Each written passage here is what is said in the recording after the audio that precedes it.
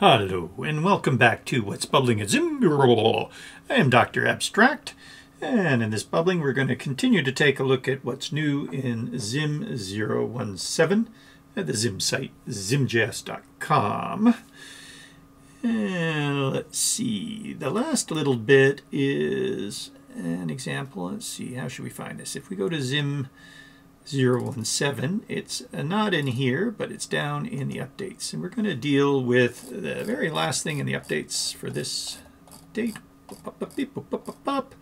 is data to and from node uh, using async, ajax, and bind. So we have an example in a zip. We probably could have put the example uh, node package manager itself as a package, but whatever.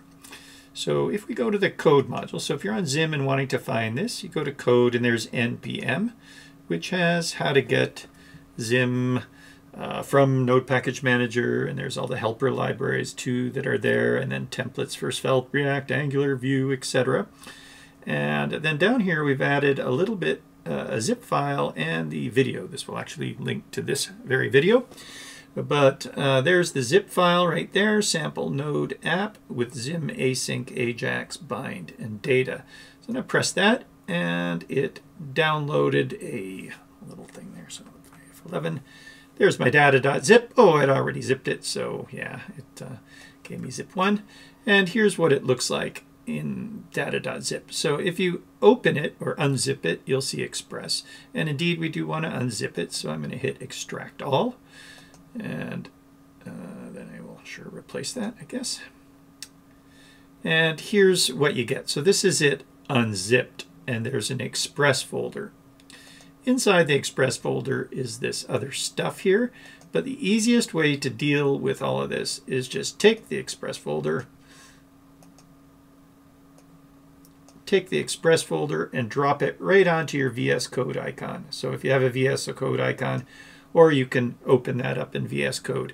So now all I have open in VS Code is my Express. Okay, that's the easiest way to do it because then when you run your node stuff, it will uh, not have to worry about paths and stuff. So all I have open is Express, and in here are the files that come with the zip. All right, great.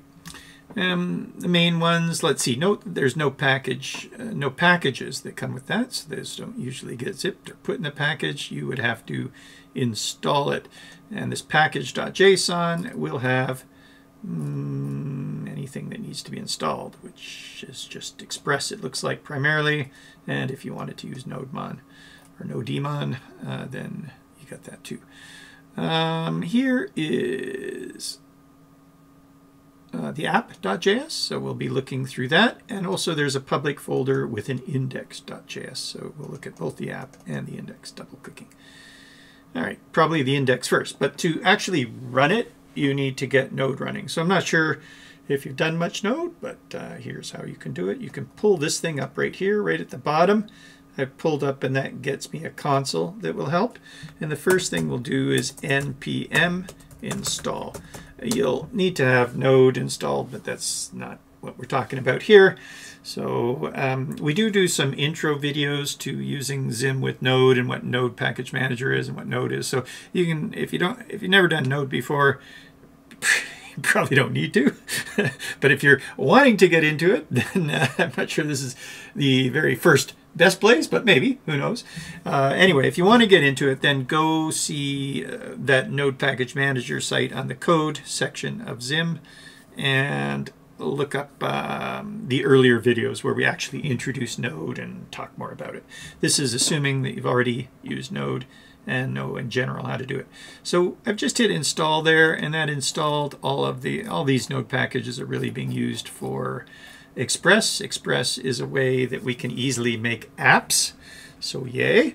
All right, that's been installed. And the next thing we want to do is run the app.js. And so that would be npm, or sorry, uh, node and space app like that. And that runs the app.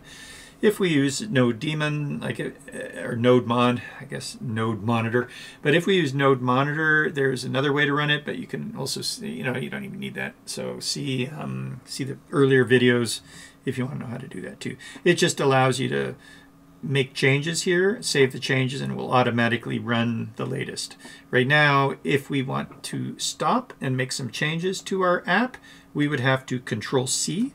Control C gets us out of uh, out of that, and then we can make some changes, and then we would have to run it again. I'm using my arrow up. To use an arrow up, it goes to the last command run, and then hit enter. Anyway, this is now saying that we're running on port 3000.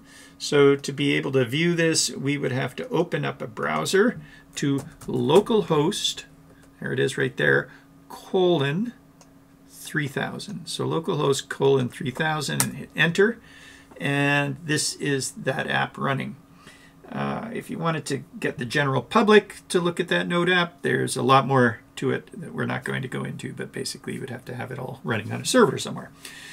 Anyway, we're localhost though as a server, and here's the example that we're showing async to and from server initial data. So we're actually passing the words initial data, and there are the words that we've received from async. So this is Zim that we've got running here, as, as you can see, it's a Zim file. And we're receiving data from the server that says that and we're receiving that with async. And so I'll sh show you how to do that. Async is basically like Ajax, except it runs JSON P. It's a way to send JSON back and forth without the security issues that Ajax runs into. Usually you don't really care about that, but it can be handy. And it uses uh, GET. So it's only for like small bits of data that you're wanting to get back and forth really easily. And you can do that with async. So Zim's got async. Uh, then we also have Ajax. So when I press Ajax, it says server says hello from button. Um, so that just went to the server, this localhost server or app.js, and returned some information there. And then we've got bind. What bind does is it's remembering how many we have checked. So if I uncheck those two and hit refresh here, those two are still unchecked. So that is going to the server, finding out if those are checked or not, and bind will load the right values into start, and anytime we change those values, it will send it off to the server. We're not storing this in a database. Uh, bind can work with local storage, uh, but we're wanting to show you how to get data to and from the server. Local storage isn't the server. Bind works with local storage. It's the easiest way, but it only remembers a single user. Um, we are binding this time to a flat file on our local host, which really only works for us anyway because we're local. But if this were all put on a server, that bind would be shared by people. So everybody going to this on a server would see this, and if they made a change like that, then somebody else loading it would see that change. It's not the same as sockets. We do have examples of uh, running sockets in Node.js, and uh, in both in Node.js and not in Node.js, sockets are multi-user real-time communication. This is not bind, is just binding to um, a database. Okay, so anyway, oh, we're not actually binding to a database in this example. We could, and there's a little uh, hint or two in the, the code that we can see coming up that shows us how we could go to MySQL or MongoDB or some other database and it's quite easy to do as well, but I'm assuming that you already would know how to do that on the node side. If you're just wanting to hook Zim up to a database, uh, we, we have Zim bind, and Zimbind works with PHP on a database, and that's a whole, or sorry, not Zim bind, um, Zim base. Zim base uh, makes PHP connection, MySQL, I, MySQL connections to a database much easier. But here we're um, not using PHP, so this is a different zip file that shows us how we could bind, in this case to a flat file, but the database is very similar. And like I said, we're assuming you already know how to set up uh, Node.js in a database. If not, uh, perhaps some other day we can do an explore on that. Um, we've done that before. We don't do it too often because um, we don't really need to. So there. Anyway, um, that's a little bit of an overview then. Why don't we take a look at the file that's uh, going on in behind here. So we've been sending some information to the console as we were doing all that stuff. So post request made, and here were the checks that were the, the data coming in. We have some initial data, uh, blah, blah, blah, blah, blah. And anyway, I'm going to control C this like that. And we're going to take a look at, how about we look at the index first. Uh, this is Zim, so it should look fairly familiar to you. Well, maybe not if you haven't used Zim before, but we're certainly not here to introduce Zim. So we're in uh, a Zim frame, although I suppose we could update that to 017 there. And here we have, we're making an icon and data to and from, so that's just the title stuff there. And some install stuff. So there's some of the things that we've just done, little instructions there and viewing it on 300. Yay. Data. So we can use async, ajax, and bind. Async can send via get. Ajax can either use get or post, and bind can either use get or post. Any of these can be used for any of the situations below. It's a matter of preference. And all we're doing here, this data doesn't really make sense, but we're showing round trips, uh, how to get from Zim to Node.js and back again using these things, or examples of those. All right, so async. Um, this is Zim, so not our app. This is how we receive the data. So here we are going to send some data. Async. The command is initial data, and here's the callback. So this is um, what we're calling on the server. So slash async is going to be called, and you'll see how we collect that in the Ajax. It's called routing. We sort of say, oh, we have asyncs coming in, therefore I'm going to route to this uh, function, but that's on our app.js. And we're passing some initial data right in on post. So there we are, that's post, the command initial data. And we're going to receive that command, and then the server is going to send it back again when we arrive. So when this arrives, we've actually sent some data to the server, and that's us getting the initial data back right here in the Zim file. Obviously, we didn't really need to. But when we do get that data back, we'll receive that data, and we're going to make the label show the data's answer property right there.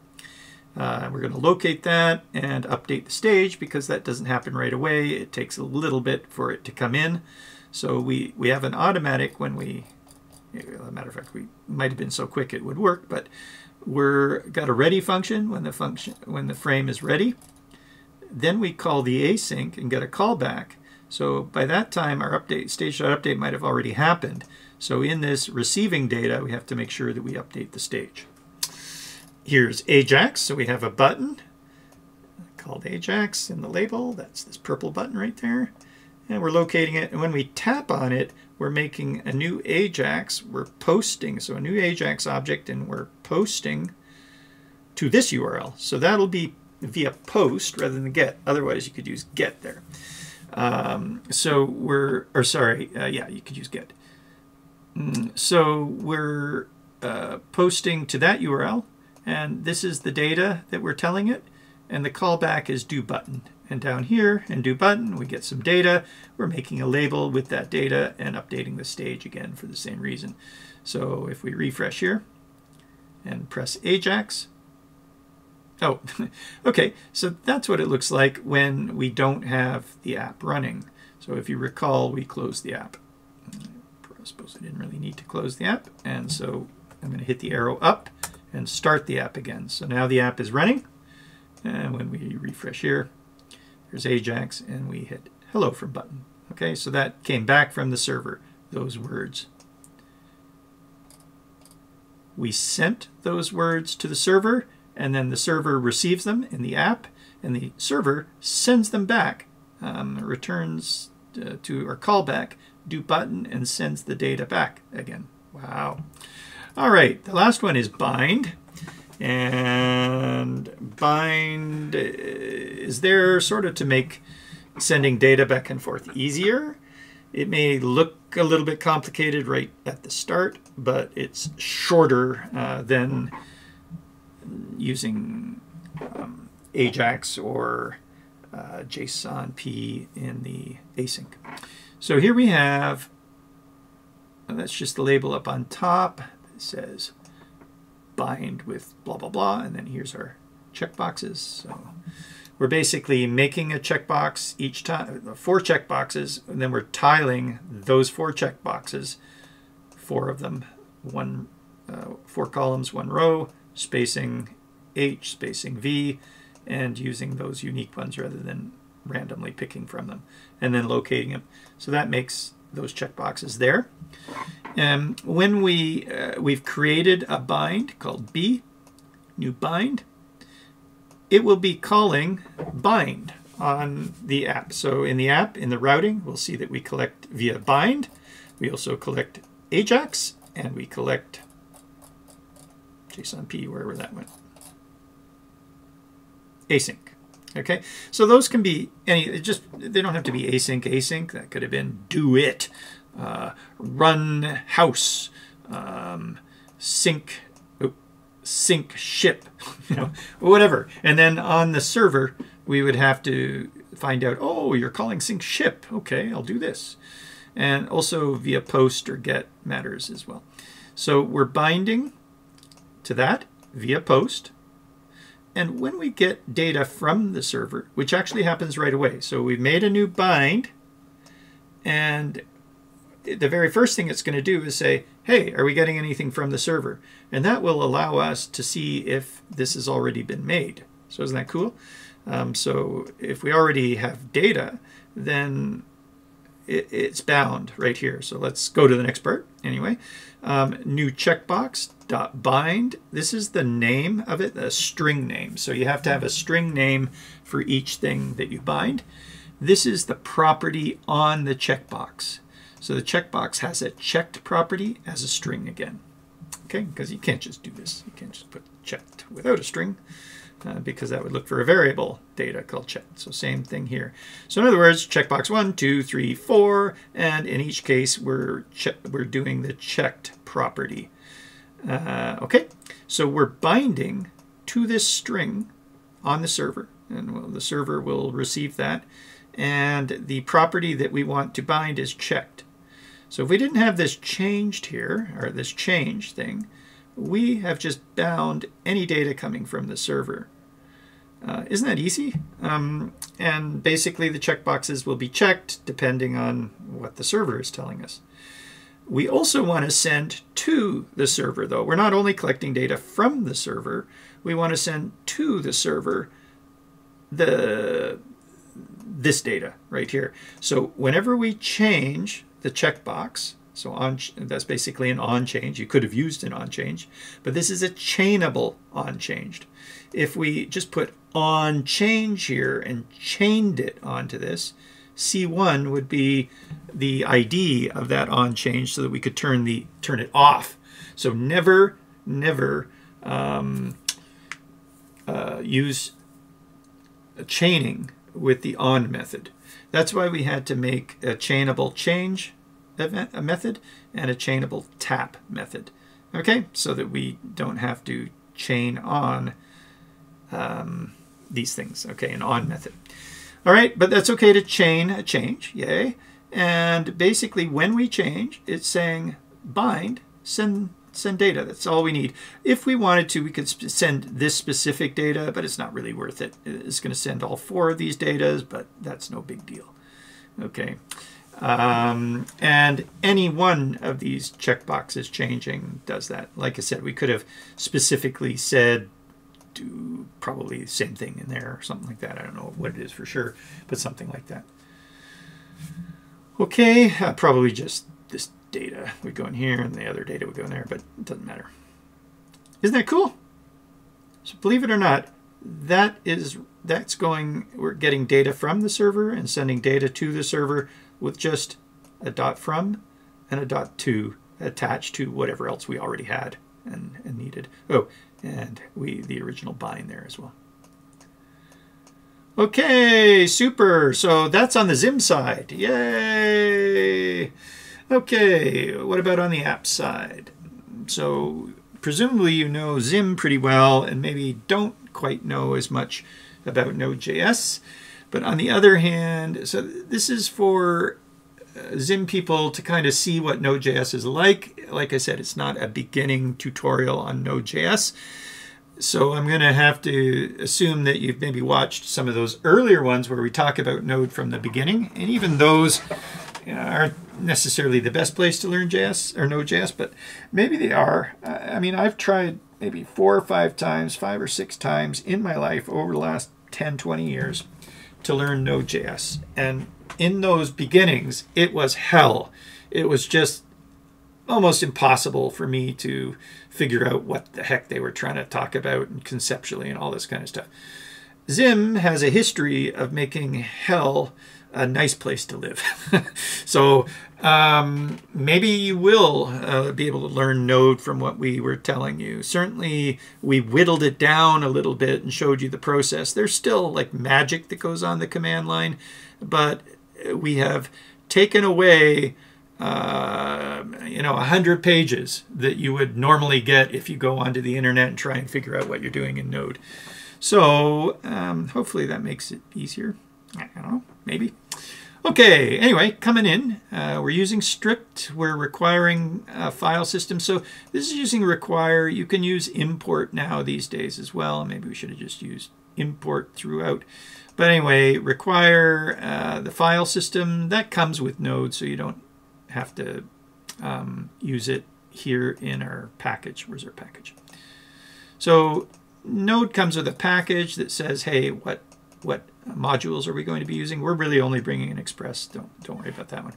We're only really bringing an Express. Oh, I see that I do have the start. So if we went npm start, it would have activated our whole thing with NodeMon. I thought I maybe didn't put that in there, but that's already set up for you.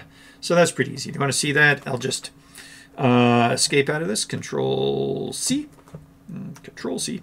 There we go. So it's not running anymore. And if I go npm start, like that, which is in our script start, it's going to run nodemon and then our app.js. So hit enter there and you can see that it says it's running on 3000 and what that means is we can make a change to the app or the index and save it, and this will stop and start it again. Um, so let's try test. okay, and so it restarted due to changes. Do you see that? And it's actually saying, oops, test is not, not proper there. And we save it again, save, and hopefully it'll run. There it is. So we're up and running again. Okay, cool, huh? Um, that's, if you're actually working in this, that saves you a lot of time and bother. All right, so uh, there we are bringing in Express, and we had to import that uh, or include that in our package.json. And we're saying app is Express. So this is how Express usually starts. Express is going to help us. Okay, what else do we have here? We're setting a port to 3000. That's why we're listening on 3000 we and Express is helping us do that. You can do this in raw node as well, and I can't remember if we went through some videos in raw node. I'm not sure. Probably. I think maybe. Anyway, um, Express just helps you do this stuff a little bit. Uh, we're also telling it that our static pages are going to be in the public directory. So here's the public directory, and that's what's actually making the index load when we go to 3000. It just says, oh, you know, I, I don't have any routing for an index, and therefore uh, I'm going to check the public directory, and there's an index page in the public directory. All right, there's some information here that, hey, we're, uh, we're just doing simple examples.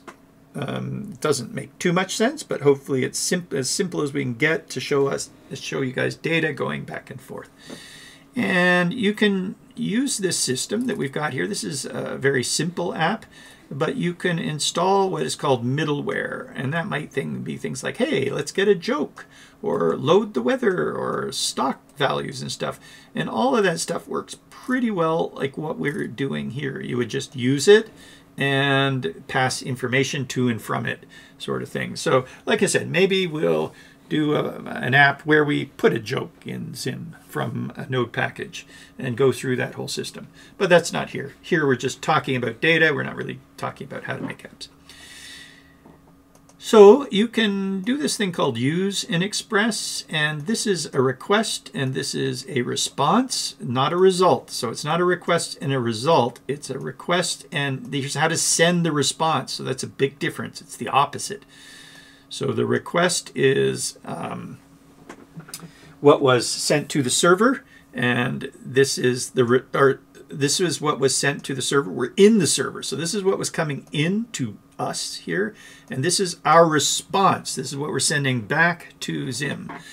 Uh, so, and there's this thing called next. So when you use, you're responsible for calling next. Otherwise, this whole chain of stuff will stop running. Okay, anyway, we're just showing whatever the URL that's coming in, whatever method and URL on that request. So what method came in and what URL was used. Okay, and we're console.logging it. That means that when we refresh here, refresh, um, it is console.logging here to the terminal, not to the console in, uh, come on, not to the console here. So F12, not this console, uh, not that console at all, this console, nothing in this console. Okay. So the console.logs here are showing up in the terminal below. All right, path. Um, here's how you can do routing. So you can use this path right here, and anytime we hit test, it will say starting test. So for instance, if I come back to 3000 and I go test there and hit enter, it says test here, but also down in the console, it says starting with test um, right there. That's what it says in the console. Here's what we sent on the result. So, or sorry, on the response. So not a result, on the response. So this is us sending back a response. And we're sending a big H1 test right there. So that's why we see that. As opposed to this, which is our index page. And end it. Don't go any further. Okay, good. So those were just some basic uh, Express stuff, and also very similar to basic Node.js without even using Express. Uh, get and post, but usually we're sending get and post information, and so they can be routed uh, via get here. So that's an example, or post here, like that. And we receive our data a little bit differently. So here we are getting, so this is get, and when we set that async, remember back in our index here, hopefully I'm not going too fast for you, here's async, and async by default is get. Okay, it's only get. So we're sending commands and receiving information via get, not via post. Ajax could use either, and here we're using post, and bind can use either, and there we're using post as well. Okay, so coming back to our app, um, when we route to async, we're going to receive the query. So it's quite easy to receive a query uh, when you're using get. It's built right into this thing called query. And that's an object that will hold all of the names of your properties that you sent. So if we look back here, we sent with async, we set a command equals initial data. You could also send ampersand uh, test equals 1. So then on our query, we would have query.command and we would have query.data uh, .test. So query query.command, the thing in front of the equal sign, and query.test right there. Test would be 1 and command would be initial data. Anyway, I've only sent one thing, uh, so if we come back over here, uh, there's us asking for the requests query. So this is the stuff coming in, and on the query object, property, whatever, we have a command. So if there is a command, then command is equal to that command. This is the ternary operator. It's like a, a quick conditional. Else, so if this is true, then we have a command. Else, we're going to just put empty. All right. And then here we are sending back the async. So this is how Zim async works. You put a string that has async dot whatever your callback function is. So back over here, async, and our callback is called start right there. So on the app side, we go async start, and then we put whatever data we want. So an answer is async to and from server, and then we're using the templating, the new templating in ES6, to insert the command. So there's the command that we received, and we're putting it right there in the string. You could have uh, used concatenation with the dot in there. But remember that to use the command, we are in backticks here. So it's quite common. Uh, people using Node like using the backticks and inserting data there. They, I don't know, they feel like, uh, hey, I'm using new new JavaScript.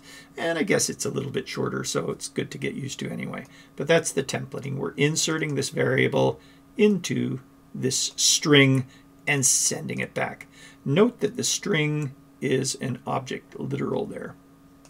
Okay, so when that comes back to Zim, we just get the data right here, and we've asked for the data.answer. And that object literal will, will be passed through as JSON because async uses JSON P. And so that's JSON in there, and it gets automatically decoded as well. So it's, it's encoded and decoded just fine, and we can just get our data.answer. Isn't that nice? All right, and that's why this says initial data right there. If we didn't get it, mm, how can we test? Mm, if there was no command, so if I go command 3 here and save, and then do a refresh here, it says empty. Okay, isn't that neat? So my async is empty because the app here uh, did not receive a command. Instead, it received, what was it again? A command 3. So if I save this, and note that as I'm saving and stuff and refreshing, um, I think I should be getting I didn't see that update here. Uh, did I save it? Did. Save. I think that should start again. Let me refresh here and see. Yep, it did. Okay, so NodeMon is handling all that well. And coming down to the next part then, that was async. And here's our Ajax. So we, oh, we're back over here. That was async. And here's our Ajax down here. When we're using post, we don't get it on the query like this. We don't have our request.query. That's only with post. Instead, it comes in in the body itself, and that's rather awkward. Um, so what we do is we tell the app, so this is uh, this comes with Express, we tell Express to URL encoded, to call URL encoded and don't worry about that just just we do it. And what that does is it goes through and it looks for any variables that are stored in the body of the the text that's um, being sent to it and it takes those variables and it stores it on a body property uh, which is actually the body. So in the body, it's all there as strings, basically.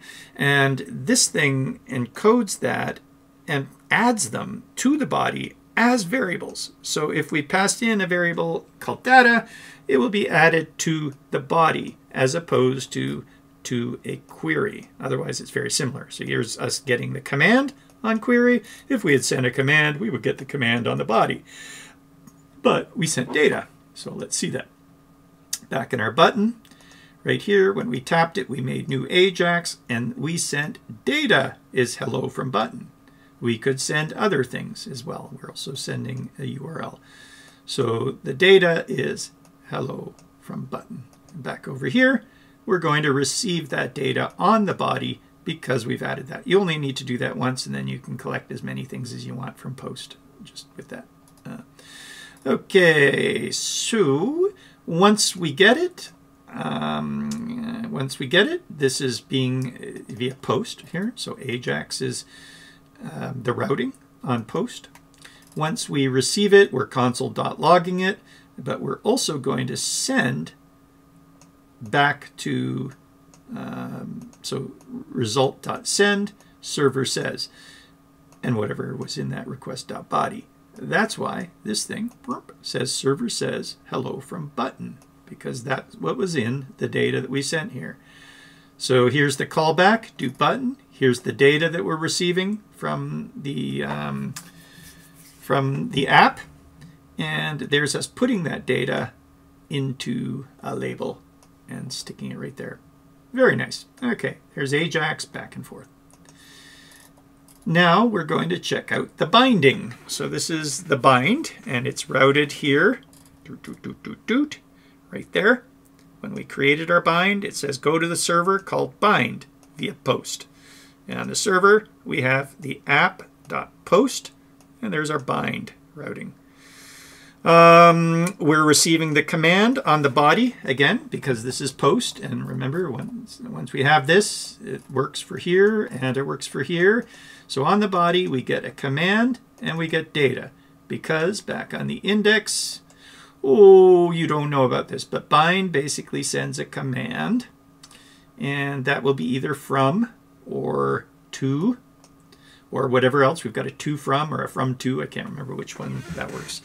Okay, so we've got three different, maybe four different types of commands. And so we'll receive those automatically. And then we also have this being the data here, like whether it's checked, oops, whether C1, C2, C3, C4 is checked. And so we come back here. So that would be, I guess, under the data. And we're going to see how we deal with that down below. Okay, we could use, so here's that little note talking about a database. We're going to use a flat file instead, a very similar thing, but um, we could use a database such as MySQL, and there's other drivers like Mongo. So that would look like something like this. You would take this right up here, and well, we don't have to go up here, but by convention we, we do, and go like that. Const MySQL, require MySQL. We have not imported MySQL though um, in the package, so you'd have to go out and I don't know what it is, npm install or i uh, MySQL.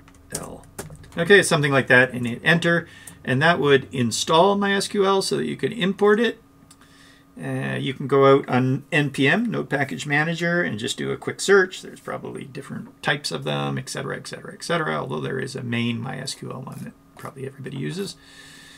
And where do we get to? Async post Ajax bind. Okay. All right. Um, and then you can access any MySQL commands such as select, insert, uh, delete, um, uh, whatever uh, is that all? anyway, stuff like that, okay, to get your data to go in and out of the database, basically. Uh, here is a flat file system. So we're specifying a file, checkbox.txt, right there. And that's what's in checkbox.txt. It's actually some JSON, it looks like, uh, with these brackets. There's the data for one. You don't have to do any of this. It will write that for you. This is the format the Zimbind uses. Okay, so with Zimbind, you can do things separately, or you can do things all as one single JSON. So uh, you could have a database that just has one record, or two records, probably an ID, and uh, a JSON um, string here. Isn't that neat? Or you could divide this up and have a database with store C1, store C2, store like different uh, fields in your record. All right, that, that works either way. Okay, uh, coming back though to bind. Boop, that's in here. We are logging to the console the command and the data. So as we do a check here, I just did that. It uh, the command is two. So I, I, I went over here and I went like that one of these things. The command is 2, C1 is true, C2 is true, C3 is false. True, true, false, and C4 is true. Okay, so we're getting the right data. There, um, if the command is from, that's the very first time, so we're supposed to be sending from here to Zim. Then we're going to read the file and if we have a problem reading the file, then we're going to console.log sorry, and we'd see that here. Uh, and we're going to send back the data that's in the file. So we basically just send back that string. And that's the string that Zimbind is expecting to get that data. Zimbind bound C1, C2, C3, C4 to the checked. And uh, basically, um, if this is the very first time, we wouldn't receive anything here and we'd be fine. It'd just be unchecked. But um, when we send data to, so when we send data to, we're writing this stuff. This is the data that we got, and ZimBind sent that data because that's the format that it was expecting. And then we're writing that to our file. If there's an error, then it's going to log here. We could send back an, error too in a different way, but we didn't bother because this always works anyway. And so all we're doing is sending back success. So when we check this, we send back success. I don't know if we didn't even log anything in the console, but we could have. I'm going to see what that would look like. So back in our index, there's our bind from to, uh, we would have to do that in here. We'd have to have, put a callback inside of the twos, and that callback could receive the fact that it was successful. Um, so the callback's not the first parameter, it's some other parameter. You would look in the database, or sorry, in Zim. So here's code. Uh, let's see, we'll go to the top here, and under docs, and type in bind. Uh, okay, and bind has a method called to, and so you come down to the methods. Properties, whoops, methods. To unique, to, from, remove, add. So add, remove, from, and to. There's the targets, the props, the extra, the filter, the smart decimals, and the finally the callback. Um, so, uh, but it accepts ZimDuo, so you'd probably be operating um, ZimDuo with just call. So, in other words, that would be in here, um, squiggly brackets, call, colon, arrow function, which would receive some data, uh, zog, d. Okay, so we save that up and refresh here, and hopefully that works. Um, that's if we check this one, success. Check this one, success. If we check some other ones, we didn't put the callback on those other ones. So we didn't receive it. But checking here, success. And all we're doing is passing success, whether it's checked or not. So uh, back in the app, we're just sending success no matter what the data is. So anyway, that's fine. We, we received some success. So that's pretty wicked. And I'm sorry if all this seems like magic. Sometimes as you look at stuff for the first time, it's like, oh my God, how would I have ever known that? I would never have known to put that in there. Uh, well, we have docs for that, and I'm telling you now. there we go. And I think you'll see that all of this, much like the rest of Zim, is very, very uh, concise. All right, especially especially on the Zim side you just can't get more concise than what we're doing here. And that's good. It's a good thing. All right, so even working in data, we have a whole um, Zim school on data. Let me just show you that quickly here. So um, Zim school, mm, probably in the learn module. Well, um, there are lessons. So there's CodePen lessons, there's kids, there's Zim School. Another way to, to reach school, so that's Zim School, is to, in the footer of any of the pages, there's Zim School. And then it's the last lesson down here called Data, Lesson on Data. That is really good. If you don't know about data, or even if you do know about data, you might want to take a look at why we're using data on the canvas to be able to save things like collages that we make, uh, configurators, etc. Um, there's resources for creative coding lessons. So all of the creative coding lesson has about um, uh, nine videos. So at, at the top of any of these, this is reference, but at the top there's videos in each of these. There should be. Where's the video on here? Beep, beep. Do you see it? Bind base reference. I hear there. Okay, creative coding video 34, client and server talking about database stuff. So you press on this, and here's the creative coding video. It's got all its little chapters uh, laid out here as well. Okay, so all of this is like a textbook with videos that are talking about async and bind and base.